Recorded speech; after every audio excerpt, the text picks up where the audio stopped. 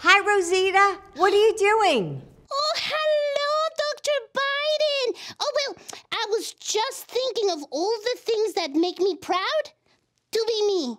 Yeah, yeah, it's a little project that I'm doing with my military kid friends. That's wonderful. So, what's on your list so far?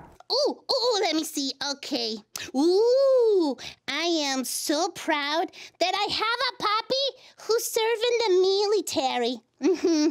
Uh, let me see. Ooh, ooh, I am so proud that I that I'm a Mexican American. Yeah. Uh-huh. And uh Oh, oh, there's another thing that I'm very proud, Dr. Biden. Actually, I just learned that, and uh, it's that I, I am an upstander.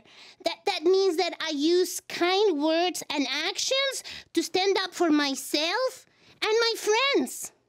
Wow, you know what? I'm proud to be an upstander too. It's important to treat everyone we meet with kindness and fairness and respect. If we see someone being treated unfairly, we should stand up for them. Yeah, that's very important.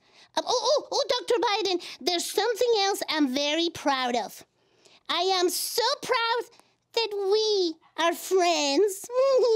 oh, thank you, Rosita. I'm proud to be your friend too. And you know what? Military friends are some of the kindest, bravest people I know. So I bet your friends are amazing upstanders. Please send them a big hello from me. Oh, you got it, Dr. Biden. They'll be so excited to hear from you. We love you. Love you.